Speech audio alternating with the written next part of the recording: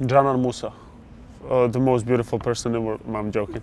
It's uh, I'm not I'm not sure. I'm not sure. Nani.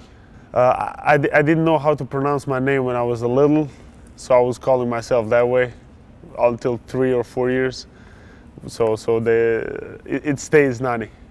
Uh, when I was seven years old, I was practicing soccer before that, football, uh, and I was and I was a big fan of, of, of, football, and, and I'm still now. But like when, when I when I touched the ball first time, like basketball, it was it was over for me. I fell in love immediately. So my first youth game was like when I was 11, probably 10, 11. I started I started to play like in, in Bosnian league, and uh, my first senior game was I think national team, and then EuroLeague against Olympiacos when I was 16. Yeah, just uh, like like NBA games are like every second day, so you gotta travel a lot. You gotta you're you're in the plane most of the times. Like there, there's no time to there's no time to rest. It's all about basketball. So I kind of liked it, but um, that that was the most difficult like thing. You got 82 games like a season, then plus playoffs. So it was it, it was a lot of games, a lot of a lot a lot of traveling too. So that was that was the the biggest biggest difference than in Europe.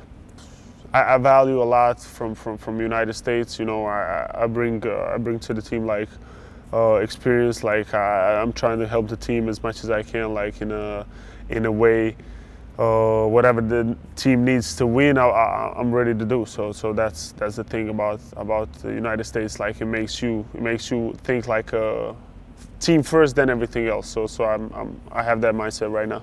I talk with friends a lot lunch, dinner. I like to be social. I like to talk a lot. I like to, to meet with my friends, teammates. Obviously, PlayStation, like every every other athlete, you know. Yeah, I was. Uh, I'm playing FIFA a lot. I'm, I'm, a big FIFA fan. I'm not playing uh, like NBA because I was in a game two two years, and I, I, don't like to play with the other guys against me, but I don't like to play with myself against the other guys. So so I didn't play NBA. I'm, I'm a big FIFA fan, so I'm playing that that a lot. I was watching Lucifer Lucifer. Now the, the new show is, is uh, like a French show on uh, on Netflix. It's Lupin. I'm watching that right now. So I'm a big I'm a big uh, I'm a big watcher. Like I like Netflix a lot. So fans and everybody just text me on uh, Instagram. I'll I'll let you know. Uh, singer. Uh, I'm joking. Uh, soccer player. I, I, would like to be an actor actor too, but it's, it's it's not working for me. Hour before the game, I don't talk at all. Like I just I, am trying to stay in my zone and I put my shoe right first and sock and everything. And when I step on the court, I, I step with my with my right with my right leg. Oh yeah, my, my brother, uh, he was he was a basketball player too when I was playing soccer.